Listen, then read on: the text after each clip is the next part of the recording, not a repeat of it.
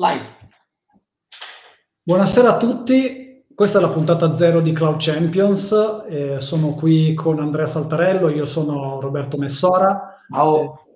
Ciao a tutti. Eh, siamo qui perché abbiamo la necessità di raccontare che cosa è Cloud Champions, che cosa sarà Cloud Champions e quindi ho diciamo, l'onore, lasciatemi passare questo termine, di intervistare l'ideatore di Cloud Champions, che è appunto Andrea. E quindi la primissima domanda che ti faccio è ovviamente la domanda più semplice del mondo, ma anche quella fondamentale. Che cos'è Cloud Champions, Andrea?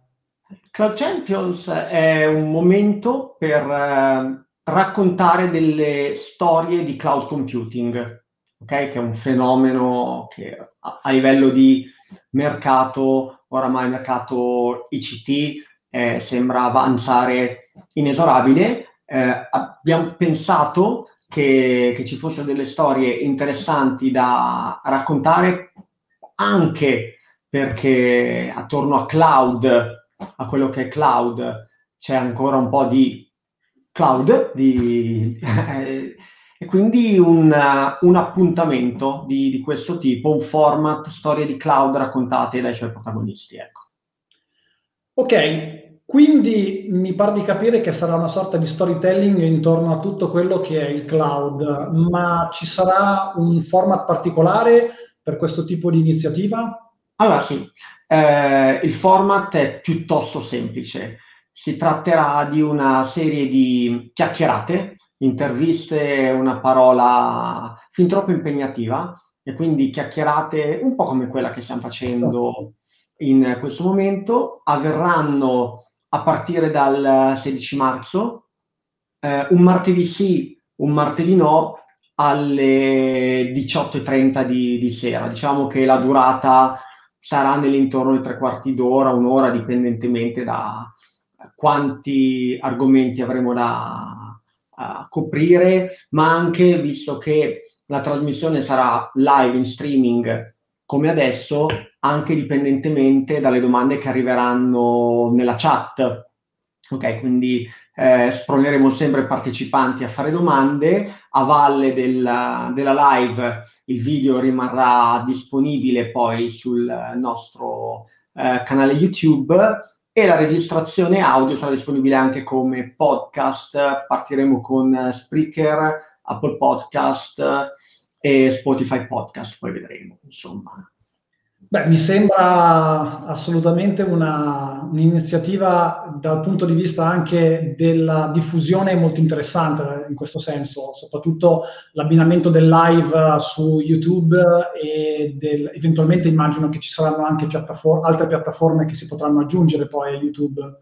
Sì, beh, abbiamo per esempio un canale Twitch che abbiamo già usato in passato per lo streaming di alcuni eventi, diciamo che eh, impareremo e miglioreremo strada facendo per tutta la, tutta la parte di produzione. Diciamo che all'inizio sarà tutto contenuto e produzione ingenua, eh, speriamo nel tempo di affiancare a dei contenuti che secondo noi sono di valore importanti anche una produzione all'altezza. Ecco.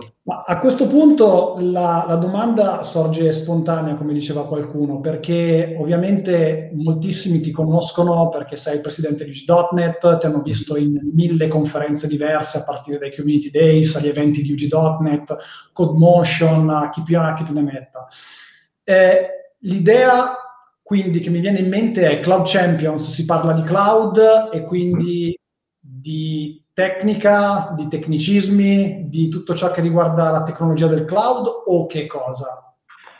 Ok, allora, eh, hai detto una cosa che mi, mi aspettavo, cioè eh, mi, io mi rendo conto che per una serie di motivi eh, vengo molto eh, collocato in una casellina tecnica. In realtà Cloud Champions vuole essere una storia a più ampio respiro, vuole parlare di contenuti tecnici, avremo dei contenuti tecnici importanti, ma volevo parlare anche di storie di business legate al cloud, mh, mm, opportunità che probabilmente senza il cloud non sarebbero esistite o non così facilmente. Provo a fare degli esempi, suoneranno un po' come spoiler, va bene, mi rendo conto, però ci aiuteranno a, a capire di, di, cosa parlerà Cloud Champions. Prendo le prime puntate, per esempio. Ecco, raccontaci appunto chi saranno gli ospiti, se già c'è una scaletta di ospiti. Perché abbiamo, abbiamo una scaletta eh, che quindi spoilererò le prime boh, 3, 4, 5 puntate. Quindi, per esempio, partiremo, diciamo, col botto e apparentemente in contrasto con quello che ho appena detto, quindi non solo tecnico, perché partiremo con, il 16 marzo con Davide Mauri. Davide Mauri è un uh, senior program manager del team di Azure SQL in Microsoft Corporation. Mm? E quindi con Davide, per esempio, parleremo eh, di come il, la code base di SQL Server, quello usato on premises, sia stata rivoluzionata nel, nell'ottica di diventare un servizio PaaS, ok? Quindi una versione cloudizzata, e anche qual è stato il tipo di mindset che gli sviluppatori hanno dovuto acquisire per affrontare una, una sfida così importante. Quindi avremo sicuramente una parte di tecnica importante, dato il tema, dato il personaggio, ma anche poi una parte di, vogliamo chiamarli soft skill, crescita personale pure come, come dev. Seconda puntata avremo qualcosa di totalmente diverso. Avremo mh, l'avvocato Andrea Palumbo, eh, quindi un avvocato che parlerà di temi importanti perché al netto dei, dei classici privacy, GDPR, ci sono anche temi interessanti come la recente estensione dell'applicabilità al, della legge stanca anche a dei soggetti privati. E, e, quindi occhio a fare il tuo prodotto SaaS che poi attesti su una cloud per venderlo e a non sapere questa cosa perché ti precludi una fetta di mercato, o i temi di residency dei dati, che è un po' il motivo per il quale i, i vendor grandi eh, stanno correndo per avere Amazon, per esempio, già ce l'ha, la, la region in Italia, perché la residency dei dati è un tema. Uh, però adesso senza poi andare più in ordine cronologico, ma avremo avremo Daniele Ratti. Daniele Ratti è il CEO di Fattura in Cloud. Ok?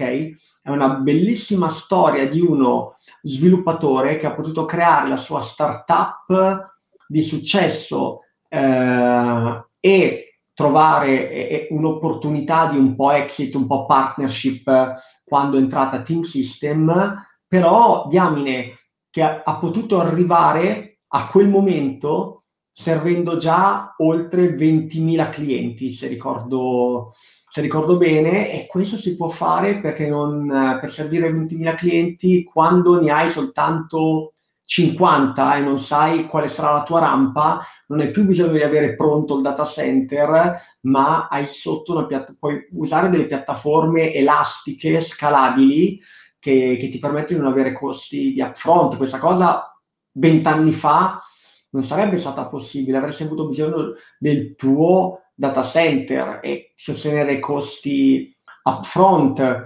Però, per esempio, in un mondo dove eh, oramai compriamo anche l'abbonamento dei giochi, il Game Pass, l'Apple Arcade, parleremo di gaming con Francesco Carucci. Francesco Carucci è una persona che ha una storia incredibile.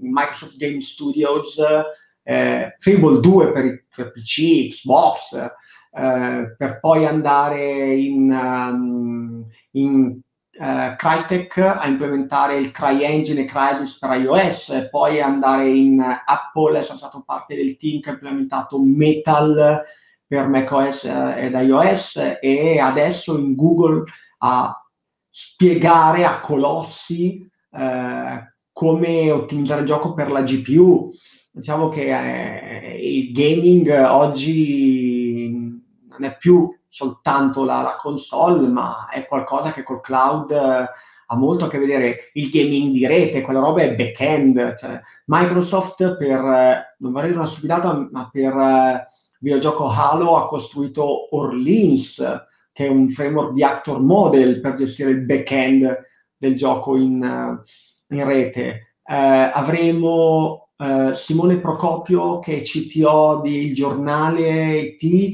e Marco Viganò, che è il CTO di Conde Nast Italia, per parlare di interessantissime storie di cloud come magazine, giornali che hanno picchi perché esce la notizia uh, dell'evento importante o c'è la partita di calcio, e allora devi poter gestire il picco e le CDN.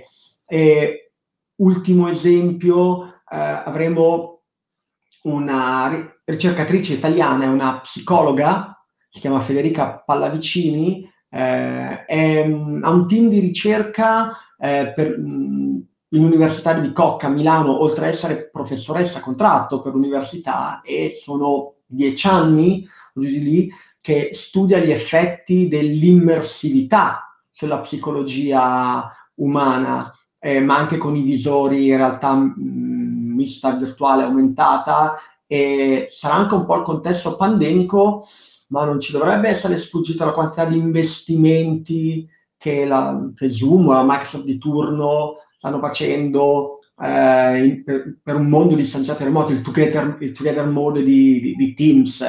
E quindi un bel pacchetto eterogeneo, secondo me. Ecco. Mi pare di capire quindi che gli obiettivi sono molto, molto alti, stiamo portando l'asticella veramente in alto perché mi sembra di capire che legal, gaming, addirittura la psicologia, insomma il, il cloud è diventato pervasivo e probabilmente eh, quello che è nella tua testa, uh, correggimi se sbaglio, è quello di comunicare eh, in questi incontri eh, il più possibile quali sono le implicazioni del cloud a 360 gradi.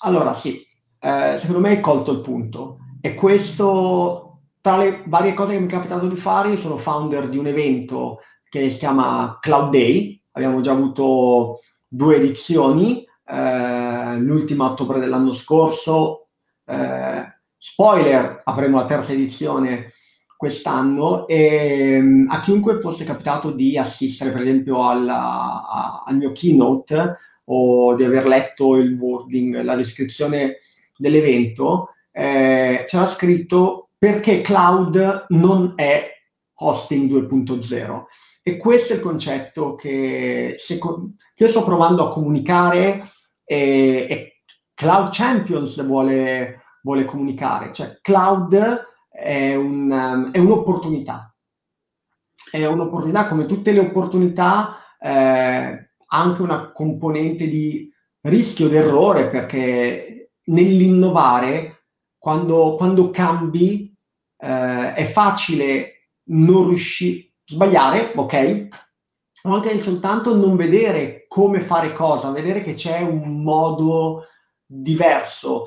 Pensiamo, pensiamo a come cloud e la potenza di calcolo del cloud abilita scenari di intelligenza artificiale eh, tramite modelli preaddestrati oppure la possibilità di prendere il tuo modello e rifare il training invece che un premises in cloud più rapidamente o meglio, perché il dataset può essere più grande, perché hai un muscolo che difficilmente potresti avere on premises o anche soltanto in un classico caso di hosting a, virtual, a botte di virtual machine. Ok, quindi sì, hai colto il punto. Vogliamo, vogliamo parlare di, di cloud per quello che il cloud è davvero, premesso che tutti lo stiamo ancora scoprendo perché è, un, è ancora un po' Klondike, ok, il cloud. E, ed è l'idea di viverlo assieme anche parlandone, mostrando storie che ci ispirino, eh, che ci facciano riflettere e poi magari qualcuno guardandolo arriverà poi ad avere la sua storia da raccontare e noi saremo qui. Dico noi perché, vabbè, eh, Roberto, ogni tanto capiterà anche a te di, di dover essere quello che intervista, e quindi è, è, un noi vero, non è un noi. Per, per, voler parlare al plurale, per essere inclusivi, a noi perché noi. Facciamolo, facciamo cloud, facciamo cloud champions, parliamone e wow, dai. Benissimo, siamo arrivati alla fine del nostro quarto d'ora di chiacchierata di questa puntata zero. Eh, l'hype devo dire che almeno da parte mia è altissimo, quindi non vedo veramente l'ora. Di...